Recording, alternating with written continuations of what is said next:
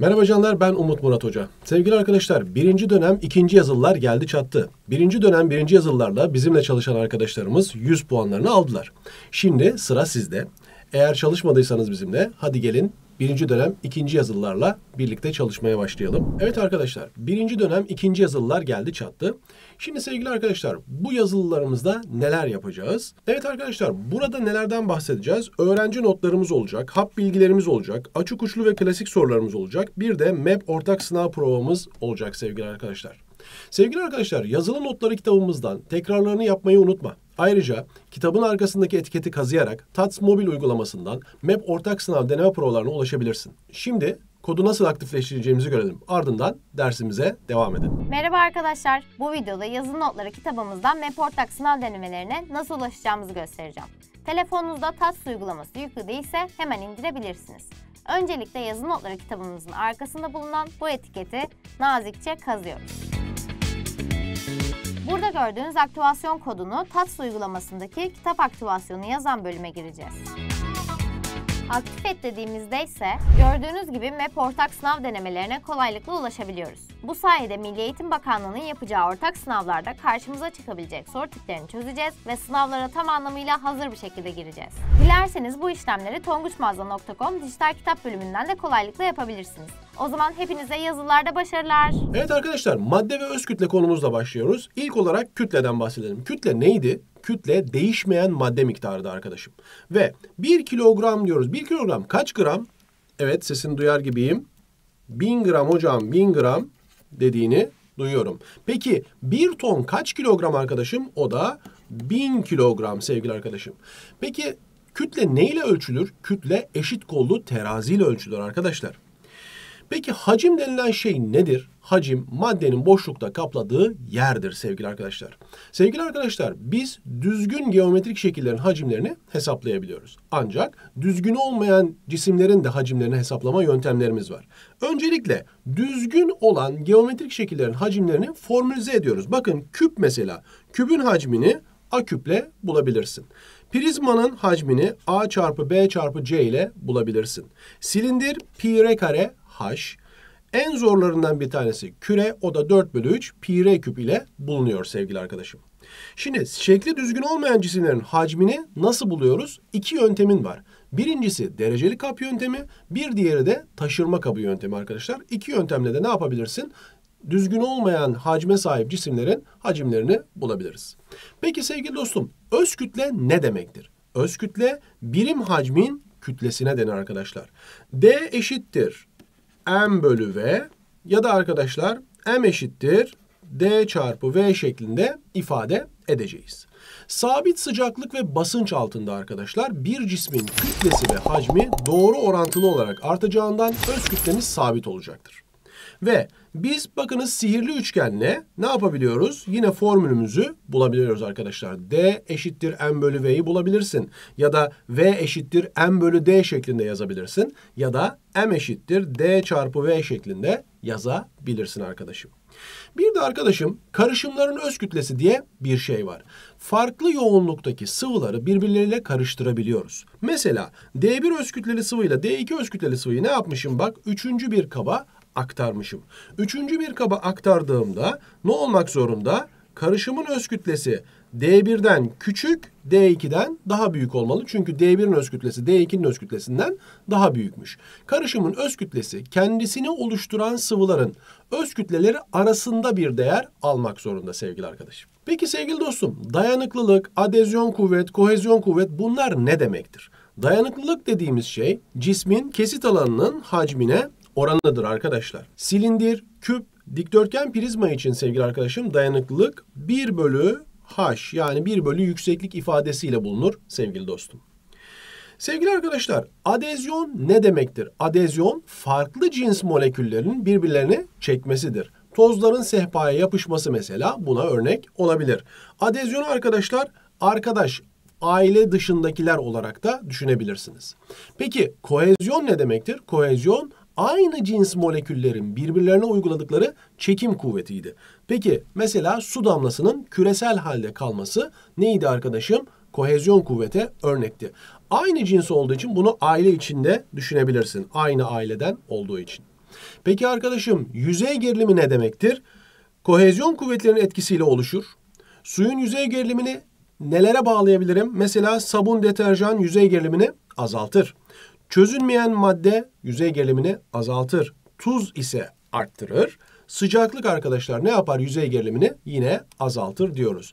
İyi bir temizlik için yüzey gerilimini azaltalım arkadaşlar. Peki kılcallık ne demek? Kılcallık adezyon ve kohezyon kuvvetler ile bir sıvının hareket etmesi, bir yerden başka bir yere hareket etmesi olayıdır. Bakınız su için arkadaşlar ne yapıyoruz? Dikkat edin. Burada adezyon büyüktür kohezyon diyoruz. Neden arkadaşlar? Su boruda yükselmiş ve şöyle U şeklini almış. U şeklini alıyorsa ne yapacaksın? Adezyon kohezyondan daha büyüktür diyeceksin. Peki yan tarafta civa var. Bakınız civada ise tam tersi kohezyon adezyondan büyüktür. Burada da böyle arkadaşlar bakın bir kubbe şekli görüyorsunuz. Kubbe şeklinde ise burada sıvı moleküller birbirini tutmuş ve cam moleküller sıvı molekülleri aşağı çekememiş diyeceğiz. Dolayısıyla da kohezyon kuvvetler adezyon kuvvetlerden daha büyüktür diyoruz. Evet arkadaşlar bir diğer konu başlığımız yer değiştirme, hız ve sürat. Yer değiştirme nedir? Yer değiştirme bir hareketlinin son konumu ile ilk konumu arasındaki en kısa mesafededir sevgili arkadaşım. Tekrarlıyorum. Bir hareketlinin son konumu ile ilk konumu arasındaki en kısa mesafeye biz ne diyoruz? Yer değiştirme diyoruz. Bak başlangıç noktam burası arkadaşım, bitiş noktam burası. Normalde bu şekilde yol alabilirim ama benim yer değiştirmem dümdüz hareket etmektir. Yani delta x'tir arkadaşım. Peki delta x'i biz nasıl ifade ediyoruz? Delta x son konum eksi ilk konum şeklinde ifade ediliyor sevgili arkadaşım. Hız arkadaşlar, hız nedir? Bir hareketlinin birim zamandaki yer değiştirmesidir. Formül olarak v eşittir delta x bölü delta t'dir ve hız vektörel bir ifadedir arkadaşlar. Süratle çok karıştırılır. Peki hız zaman grafiğine baktığımız zaman hız zaman grafiğinin altında kalan şuradaki alan bize yer değiştirmeyi verecektir arkadaşım. v çarpı t eşittir delta x şeklinde ifade ediyoruz. Peki sürat nedir? Sürat bir hareketlinin hareketi süresince aldığı toplam yolun toplam süreye oranıdır sevgili arkadaşım ve skaler bir ifadedir. Hızla sürekli karıştırılır. Hız vektöreldir, sürat skalerdir. Unutmuyorsun. V eşittir x bölü t ifadesiyle de ne yapabilirsin? Sürati bulabilirsin. Burada da arkadaşlar bakınız ilk konumu ve son konumu göstermişiz. Yeşille gösterdiğimiz aldığımız yolu ifade ediyor. Burada gördüğünüz kırmızı yer değiştirmeyi ifade ediyor. En kısa mesafedir arkadaşım. Arkadaşlar ivme nedir? ivme bir hareketlinin birim zamandaki hız değişimidir. Arkadaşlar A eşittir delta V bölü delta T olduğundan VT grafiğinde de eğim bize neyi verecektir? Eğim bize ivmeyi verecektir arkadaşlar. Delta V eşittir A çarpı T olduğundan AT grafiğinde de AT grafiğinin altında kalan alan da bize hız değişimini verecektir. Bakınız burada hız değişimini görüyorsunuz. Burada da arkadaşlar Tanjant alfadan da gidebiliriz. Tanjant alfa delta v bölü delta t ifadesini kullanabiliriz. İvme vektörel bir ifadedir arkadaşım. Hızlanan araçlar için kullanılır. Ağaçtan düşen elma içinde yine ivmeden bahsedeceğiz sevgili arkadaşım. Sevgili arkadaşlar bir başka konu başlığımızda kuvvet kavramı. Kuvvet nedir? Cisimlerin şeklinde ya da hareketinde değişiklik yapabilen etkidir. Kuvvet hareket halindeki cismi durdurabilir duran bir cismi hareket ettirebilir. Cismin hareket doğrultusunu ya da yönünü değiştirebilir. Doğru mu? Doğru. Arkadaşlar biz kuvveti F ile ifade ediyoruz. Birimi Newton'dur sevgili arkadaşlar. Uluslararası birim sisteminde de açılımı kilogram metre bölü saniye kare vektörel bir ifade olduğunu unutmuyorsunuz. Şimdi biz doğada temas gerektiren ve temas gerektirmeyen olmak üzere kuvveti ikiye ayırıyoruz. Mesela temas gerektiren kuvvetlere örnekler verelim. Arkadaşlar temas gerektiren nedir? Etki etmesi için nedir? Temas lazım. Peki mesela kaldırma kuvvetinde temas var. Rüzgarda temas var. Dumbbell'ı kaldırırken kas kuvveti temas var. İtme çekme kuvvetlerinde temas var. Sürtünmede de arkadaşlar temas var. Temas gerektirmeyenler hangileri? Temas gerektirmeyenler arkadaşlar bakınız temas etmesine ihtiyacımız yok. Mesela kütle çekim kuvveti temasa ihtiyacımız yok. Manyetik kuvvet nedir? Temasa ihtiyacımız yok. Ya da yüklü cisimlerin birbirlerine uyguladıkları elektriksel kuvvet. Bunda da temasa ihtiyacımız yok. Doğada arkadaşlar bilmeniz gereken dört tane temel kuvvet var. Nedir bunlar? Güçlü nükleer kuvvet, zayıf nükleer kuvvet, elektromanyetik kuvvet, bir de kütle çekim kuvveti. Dört tane temel kuvvetimiz. Hadi gelin bunları tek tek açalım, neler olduğunu öğrenelim. Öncelikle güçlü nükleer kuvvet, atom çekirdeği pozitif yüklü protonlar ve yüksüz nötronlardan oluşur. Protonlar aynı cins elektrik yüklü olduklarından birbirlerini iterler. Fakat proton ve nötronların iç yapısındaki tanecikler arasında oluşan güçlü nükleer kuvvetler bu elektriksel kuvveti yenerek atom çekirdeğinin bir arada kalmasını sağlar. Güçlü nükleer kuvvet ancak atom çekirdeği kadar kısa mesafelerde etkisini gösterir. Fakat görece en şiddetli temel kuvvettir arkadaşım. Güçlü nükleer kuvvet diğer adıyla yeğin kuvvette denebilir. İkincisi arkadaşlar elektromanyetik kuvvet. Elektromanyetik kuvvetin sorumlu olduğu olaylar neler? Mesela aynı cins elektrikle yüklü cisimlerin birbirlerini itmesi, zıt cins elektrikle yüklü cisimlerin birbirini çekmesi, mıknatısların aynı cins kutuplarının birbirini itmesi, zıt cinslerin birbirlerini çekmesi. Elektromanyetik kuvvetlerin menzili yani etki mesafesi sonsuzdur. En şiddetli ikinci temel kuvvetimiz arkadaşlar. Üçüncüsü zayıf nükleer kuvvet sevgili arkadaşlar. Nükleer tepkimelerin gerçekleşmesinden sorumlu kuvvetlerdir. Zayıf nükleer kuvvetler bu kuvvetin menzili o kadar küçüktür ki ancak çekirdek boyutunda etkisini gösterir. En şiddetli üçüncü kuvvetimizdir sevgili arkadaşım. Son olarak kütle çekim kuvvetinden bahsedeceğiz. Kütle çekim kuvveti maddelerin sahip oldukları kütle nedeniyle birbirlerine uyguladıkları çekim kuvvetidir sevgili arkadaşlar. Bakınız şurada hemen gösteriyoruz sevgili gençler. M1 ve M2 kuvvetleri birbirlerine çekim kuvveti uyguluyorlar. Tabii ki bu kuvvetler vektörel olduğu için birbirlerine doğru. Ve burada arkadaşlar kütle çekim kuvvetini F eşittir G M1 M2 bölü D kare ifadesiyle buluyoruz. Kütle çekim kuvvetinin menzili sonsuzdur. Kütle çekim kuvveti en zayıf temel kuvvettir. Yıldız ve gezegen sistemlerinin oluşumundan sorumludur. Cisimlerin ağırlığı bu kuvvet nedeniyle oluşur sevgili arkadaşlar. Kütlelerin çarpımı ile nasıldır? Bakınız m1 çarpı m2 demişim doğru orantılı. Aradaki mesafenin karesi ile ters orantılıdır. G evrensel çekim sabiti sevgili dostum. Kütlelerin değeri artarsa yani m1 ve m2'nin değerleri artarsa kütle çekim kuvveti artacaktır. Kütleler arasındaki mesafeyi arttırdığımız zaman bu sefer de ne olacak? Çekim kuvveti azalacak. İki cismin birbirine uyguladığı çekim kuvveti eşit büyüklüktedir fakat zıt yöndedir. Bunu da hemen şurada sana ifade etmişim. Vektörel olarak F1 eksi F2'ye eşittir ama büyüklük olarak birbirlerine eşit olmak durumundadır. Arkadaşlar kuvvetlerin dengesi diye bir şey var. Şimdi bir cisme birden fazla kuvvet etki edebilir ve cisim bir yönde hareket edebilir. O cisme hareket yönüne ters yönde bir kuvvet uyguladığımız zaman cismi dengeleyebiliriz. Bak şimdi. Bir cisme birden fazla kuvvet uygulandığında cisme etki eden kuvvetlerin oluşturacağı etkiyi tek başına gösteren kuvvete ne diyorum ben? Bileşke kuvvet diyorum. R ile gösterilir arkadaşlar bileşke kuvvet. Bileşke kuvvet cisme etki eden kuvvetlerin vektörel toplamı ile bulunur. Aslında bu kuvvet cisme etki eden net kuvveti verir arkadaşlar. Yani F neti verir. Bak burada göstermişiz. Şimdi benim bir cismim var. F1, F2, F3, F4 kuvvetleri etki ediyor. F1 ve F2 eksi yönde. F3 ve F4 artı yönde etki etmiş. Vektörel olarak bunların hepsini topluyoruz. Ama büyüklük olduğu zaman F1 ve F2 eksi yönde olduğu için önlerine eksi koymuşuz. F3, F4 artı olduğu için önlerinde artı var sevgili arkadaşlar. Bu bizim bileşke vektörümüzü veriyor.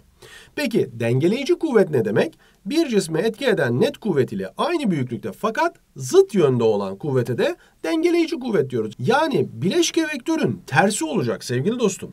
Ve Cisme etki eden kuvvetleri dengelemek için cisme dengeleyici kuvvet uygulanır diyoruz. Bakınız şurada da ifade ediyoruz arkadaşlar. Vektör olarak baktığımızda bileşke kuvvetimiz bu ise dengeleyicimiz ise arkadaşlar bunun nesi olmalı? Zıttı olmalıdır diyeceksin. Sabit sıcaklık ve sabit basınçta bulunan X ve Y sıvılarının kütle hacim grafiği şekildeki gibidir. Buna göre X ve Y sıvılarının öz kütleleri dx bölü dy oranı kaçtır sevgili arkadaşım? Bak X'e geldiğim zaman arkadaşlar dx'i hesaplamak istiyorum. Öncelikle kütlesi 40. Hacmine bakıyorum. Hacmi 10. Dolayısıyla öz kütlesi 4 gram bölü santimetre küptür diyeceğim. Sonra arkadaşım y'ye baktığım zaman y'nin kütlesi 30. Hacmine bakıyorum. O da 30. Bunun da öz kütlesi 1 gram bölü santimetre küp. Bunları oranladığımızda cevabımız 4 çıkacaktır sevgili arkadaşlar. Evet arkadaşlar, adezyon ve kohezyon kuvvetler etkisiyle oluşan üçer tane örnek veriniz diyebilir hocalarınız. Mesela adezyon için örnekler verelim. Adezyon ne olabilir? Sesinizi duyar gibiyim. İlk olarak mesela suyun cama yapışması.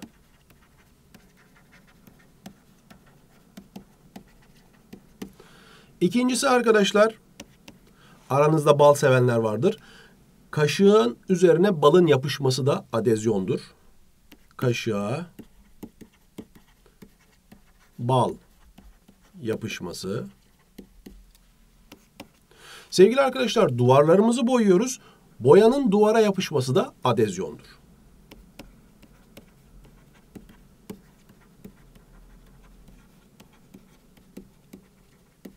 Peki kohezyonlara gelelim. Kohezyon nedir? Mesela arkadaşlar suyun damlalar halinde akması kohezyon etkisidir.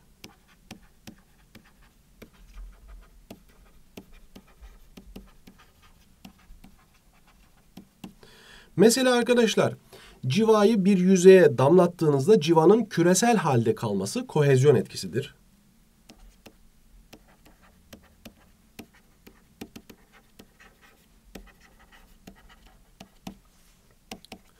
Arkadaşlar aranızda yemek yapanlar bilir. Mesela makarna pişireceksiniz. Suyun üzerine birkaç damla yağ damlatırsınız. Daha sonra bir süre sonra beklediğinizde yağ damlalarının birleştiğini görürsünüz. Bu da kohezyon etkisidir.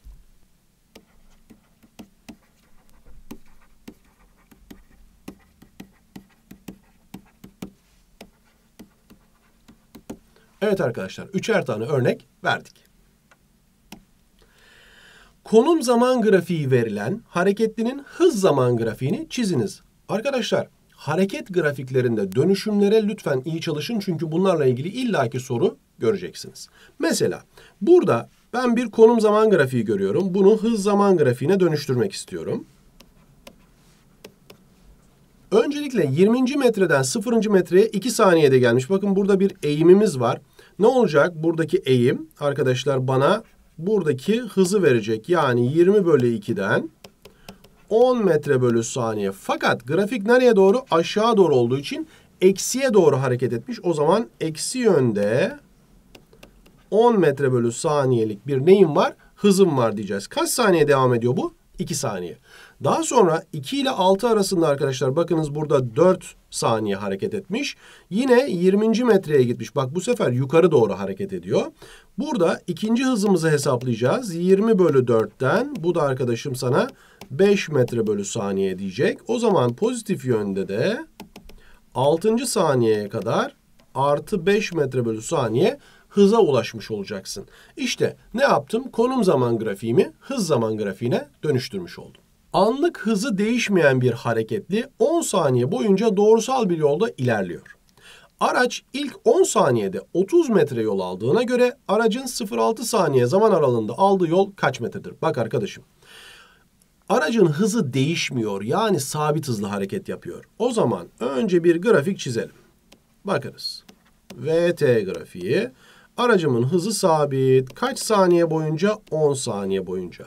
Hız zaman grafiğinin altında kalan alan bize neyi verirdi? Yer değiştirme. Delta x eşittir v çarpı t. Ne kadar? 30 metre yol almışsın v hızıyla 10 saniyede. Hızımızın ne olması lazım? 3 metre bölü saniye. Şuraya 3 metre bölü saniye yazdım. Bana diyor ki 0-6 saniye aralığında ne kadar yol almıştır? Yani 6. saniyeye kadarki kısmı soruyor. Şurayı soruyor arkadaş, şurayı soruyor.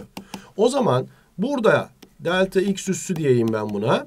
Hızımız 3, süremiz 6 yani 18 metre yol aldığını söyleyeceksin arkadaşım. Evet bir başka soru. Doğrusal yolda sabit hızlarla hareket eden otomobil ve otobüsün hızları sırasıyla 57 metre bölü saniye ve 50 metre bölü saniyedir.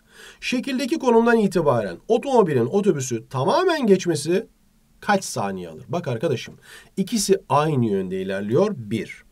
Artı otomobilin tamamen otobüsü geçmesi lazım. Yani hocam hem kendi boyunu gidecek hem aralarındaki mesafeyi gidecek hem de otobüsün boyunu gidecek. Toplam ne kadar yol gidecek? Topladığımızda 70 metre yol gidecek arkadaşım.